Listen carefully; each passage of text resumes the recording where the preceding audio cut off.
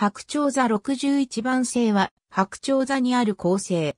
観測機器を持たない観測者にとってはさほど目を引く恒星ではないが、その固有運動の大きさのために天文学者らに注目されてきた。連星系である。ちなみに、紛らわしいが、白鳥座16番星という太陽と同じタイプの恒星もある。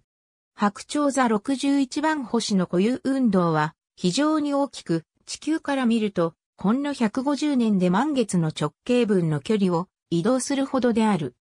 年収視差を用いて恒星までの距離を測定する方法が考案されると、当時知られている恒星のうち最大の固有運動を持つ白鳥座61番星は格好のターゲットとなり、白鳥座61番星は史上初めて地球との距離が確定された構成となった。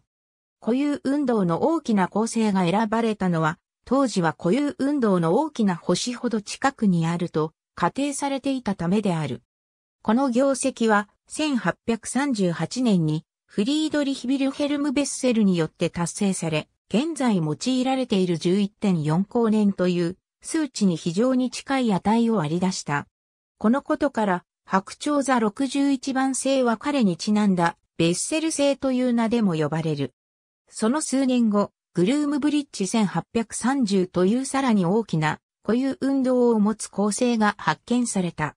しかしながら、肉眼で見えるという条件であれば、白鳥座61番星は今なお最も大きな固有運動を持つ構成である。肉眼では識別できないが、白鳥座61番星は両方とも軽型、主系列星からなる連星系であり、それぞれ白鳥座61番星、A、B と符号を付けられている。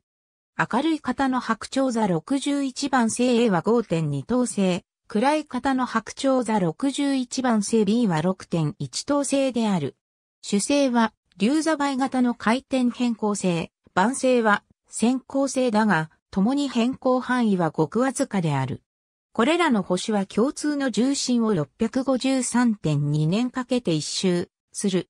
750の双眼鏡を使うと、デネブの両目視や2つ、分南東に61番星が観測できる。より大きな双眼鏡か望遠鏡を用いると、連星を分解して観測することができる。